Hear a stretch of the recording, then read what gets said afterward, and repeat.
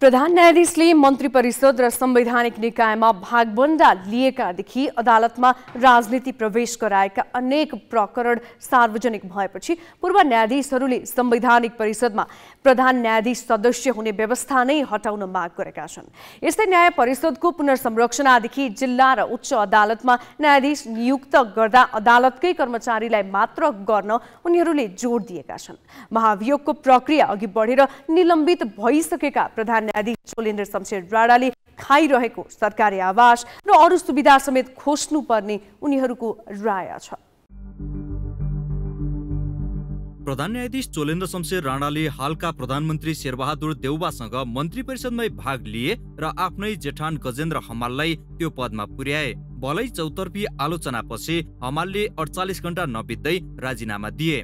देउबासँग राजदूत लगायत अन्य नियुक्तिमा पनि भाग खोजेको प्रसङ्ग पनि त्यति बेलै बाहिरिएको थियो। त्यसअघि राणा तत्कालीन प्रधानमन्त्री केपी शर्मा ओलीसँग विभिन्न संवैधानिक निकायमा भागभण्डा लिएको आरोपमा मुछिएका थिए। यता न्याय परिषदमा राजनीतिक व्यक्तिको बाहुल्यले न्यायाधीशको भागभण्डा चलेको त धेरै भइसकेको छ। संवैधानिक परिषद र न्याय परिषदका संरचनात्मक त्रुटिकै कारण अहिलेको समस्या आएको निष्कर्ष पूर्व न्यायाधीशहरूले निकालेका छन्। न्यायिक व्यथिति अन्त्यका लागि संवैधानिक परिषदबाट प्रधान न्यायाधीशलाई अलग्याउनु पर्ने र न्याय परिषदबाट राजनैतिक प्रतिनिधि हटाउनु पर्ने उनीहरूको सुझाव छ। एउटा विकल्प नेपाल सरकारको एउटा हुनुपर्छ अरू अन्य क्षेत्रका हुनुपर्छ भन्ने आइरहेको छ। तर हामीले अध्ययन गरेर देख्दाखेरि हामीलाई के लाग्यो भनेदेखि यो न्याय परिषद भन्ने संस्था ने यो चाहिँ कलेजियम टाइपमा नेपालको प्रधान न्यायाधीश अध्यक्ष हुने र चारजना वरिष्ठ न्यायाधीशहरू क्रमशः यसको सदस्य भएर न्यायपालिकाले जिम्मा लोस्। यसमा चाहिँ एक्जिक्युटिभको हस्तक्षेप हुनु हुँदैन विधेयकको हस्तक्षेप हुनु हुँदैन। यो विशुद्ध न्यायपालिकाले लिएर जाँदाखेरि मात्र सुधार हुन सक्छ। यस्तै प्रधान न्यायाधीश राणा निलम्बित भए पनि सरकारी आवास र अरू सेवा सुविधा लिइरहेको पनि पूर्व न्यायकर्मीहरूलाई सुहाउँदिलो लागेको छैन। गत फागुन एक गते नै अन्ठानब्बे सांसदले संसदमा महाभियोग प्रस्ताव दर्ता गरेपछि राणा निलम्बनमा परेका थिए। उनले अझै बालुवाटारको प्रधानमन्त्री निवाससँगै जोडिएको सरकारी आवास उपभोग गरिरहेका छन् भने गाडी इन्धन चालक लगायत सेवा सुविधा पनि राज्यबाटै पाइरहेका छन्। यस्तो अवस्था अन्त्य हुनुपर्ने पूर्व न्यायाधीशहरूको जोड छ।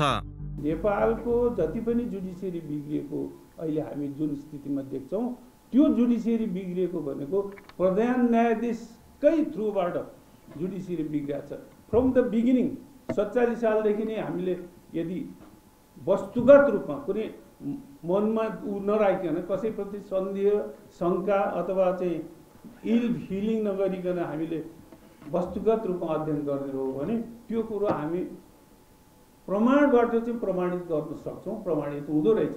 हामीले त्यो अध्ययनबाट यो कुरो देख्यौँ।